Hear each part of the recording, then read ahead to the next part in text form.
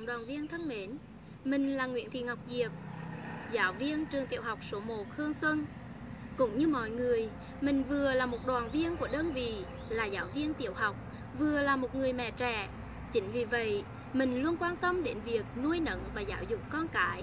Đó là lý do mỗi khi có dịp đi nhà sách hay đi trên những phố đi bộ với những sạp sách ven đường, hoặc khi online vào trên các trang sách bán qua mạng mình lại kiếm tìm cho bản thân những quyển sách hay về cuộc sống về chuyên môn và nhiều nhất vẫn là những cuốn sách về giáo dục sớm về cách nuôi dạy con cũng như những sách truyền dành cho con theo lứa tuổi và trong khối tài sản vô giá ấy mình tâm đắc nhất là cuốn sách Cất cảnh cùng lớp 1 của tác giả Đỗ Xuân Thảo, Phan Thị Hồ Điệp.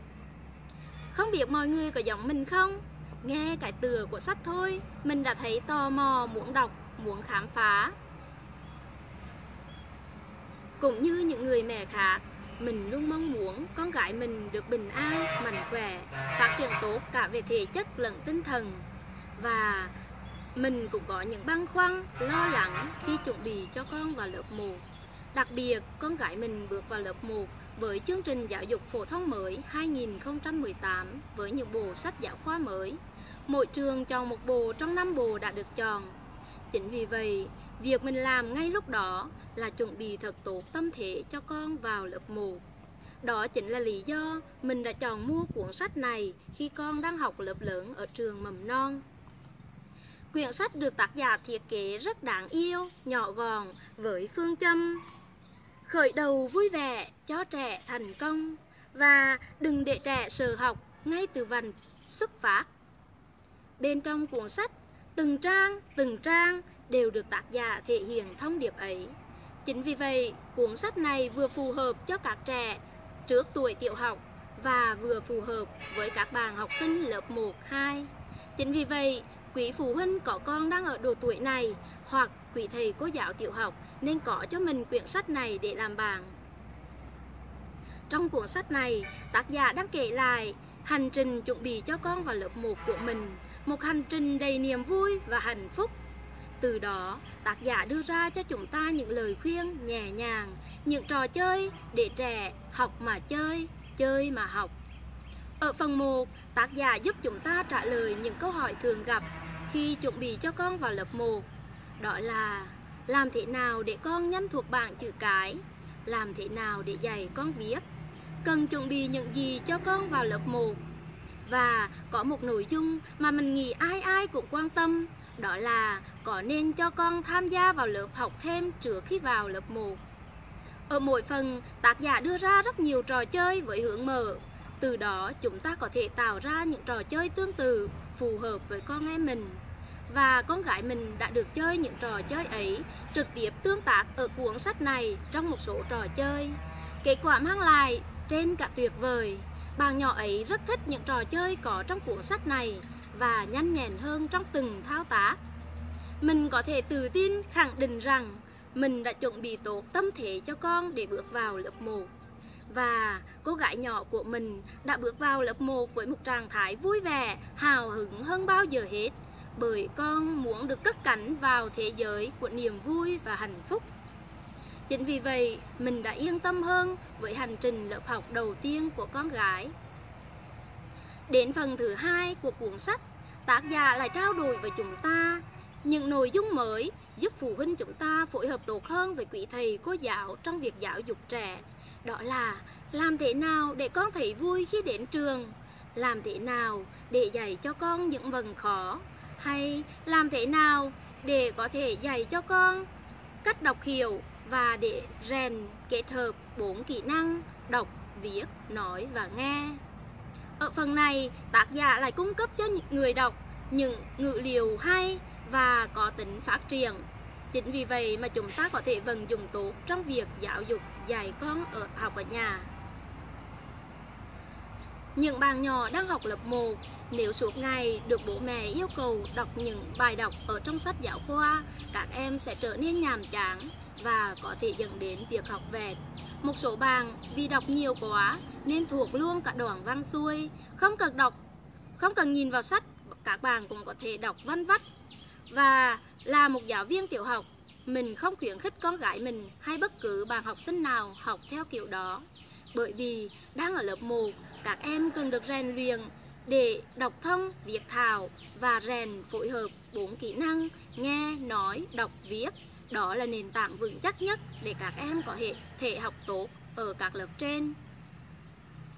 Chính vì vậy, ngoài những bài đọc ở sách giáo khoa, với những ngữ liệu mới, dù ngắn gọn nhưng gần gũi với cuộc sống, bám sát chương trình học của con, đó sẽ kích thích hứng thú đọc của các em Đồng thời, các em sẽ cảm nhận tốt hơn về cuộc sống và kỹ năng đặt câu cũng dần dần tốt hơn. Chính vì vậy, những biện pháp, những gợi ý của tác giả ở cuốn sách này có thể nói đã phát huy được tác dụng và đã khơi gợi được sự phát triển ngôn ngữ của trẻ. Mình rất vui vì đã chọn được một cuốn sách hay và ý nghĩa và trong năm học vừa qua, mình đã áp dụng thành công vào việc dạy con gái học cũng như đã chia sẻ với một số bạn bè và họ cũng đã thành công. Chính vì vậy, hôm nay mình muốn giới thiệu với mọi người cuốn sách này với mong muốn ai cũng có một hành trình chuẩn bị cho con vào lớp 1 và cùng con trải qua năm học lớp 1 một cách vui vẻ, hạnh phúc nhất để cho các con trẻ của chúng ta được cất cánh vào thế giới tri thức với nhiều niềm vui, với một cách nhẹ nhàng và nhiều cảm xúc, nhiều kỷ niệm để mỗi phụ huynh chúng ta khi dạy con học không phải là một lần cau mày, căng thẳng mà là lúc chúng ta làm bạn cùng con, trải nghiệm cùng con để cùng con bay cao, bay xa với những ước mơ và khát vọng. Kính thưa quý bạn đọc, mỗi cuốn sách là một bức tranh kỳ diệu về cuộc sống, mở ra trước mắt chúng ta những chân trời tri thức mới Vậy tại sao chúng ta không cùng nhau tìm hiểu những chân trời ấy? Với những cuốn sách hay, những người bạn tốt, cuộc sống của chúng ta sẽ thêm nhiều cảm xúc, nhiều điều mới mẻ, làm cho cuộc sống cơm gạo, cơm ảo, gạo tiền hàng ngày của chúng ta không còn tệ nhạt, nhàm chán nữa. Và với việc đọc sách, chúng ta còn có thể bổ sung thêm những kiến thức của bản thân mình về chuyên môn, về cuộc sống, về ngoại ngữ và về cách nuôi dạy con. Vậy làm thế nào để phát huy được hứng thú học đọc sách của bản thân và mọi người xung quanh? Làm thế nào để đọc sách có hiệu quả? Theo mình, thứ nhất đó là chúng ta phải hiểu được cái hay, cái đẹp của việc đọc sách. Từ đó chúng ta lan tỏa đến mọi người về tính tích cực của việc đọc sách. Biết được cái hay, cái đẹp của việc đọc sách thì mỗi một chúng ta, những con người luôn bận rộn với công việc ở trường, ở cơ quan và ở nhà mới có thể thu xếp thời gian để làm bàn cùng sách.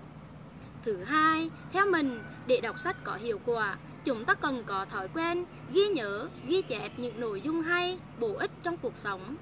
Mình thường thói quen ghi chép những điều mình thấy cho là hữu ích, cần dùng trong cuộc sống và ghi chép những đề tài mình quan tâm ghi chú xem những đề tài ấy nằm trong cuốn sách nào để dễ tìm kiếm khi cần. Theo mình, đó là một thói quen tốt, phát huy hiệu quả việc đọc sách. Và thứ ba, đó là chia sẻ với mọi người những cuốn sách hay, trao đổi sách với bạn. Có thể đối với mọi người đó chưa phải là một phương pháp hay, nhưng đối với mình đó là một phương pháp hiệu quả. Bởi vì mình muốn giới thiệu với mọi người một cuốn sách hay thì mình phải hiểu được cái hay cái ích ở trong cuốn sách đó. Và đồng thời khi mình chia sẻ với bạn cuốn sách thì người bạn của mình có thể chia sẻ lại cho mình những cuốn sách khác. Từ đó bản thân chúng ta và những người bạn ấy sẽ đọc được nhiều sách hay và bổ ích hơn. Đây là một phương pháp lan tỏa được hứng thú đọc sách đối với mọi người xung quanh và chúng ta tất cả mọi người đều có thể đọc được nhiều cuốn sách bổ ích hơn. Chia sẻ của mình ở trên có thể chưa hay, chưa hiệu quả với tất cả mọi người Nhưng mình mong đó là một phần nhỏ để góp phần thúc đẩy thói quen đọc sách Một thói quen thật tốt đối với mọi người. Xin cảm ơn các bạn đã theo dõi. Xin chào tạm biệt.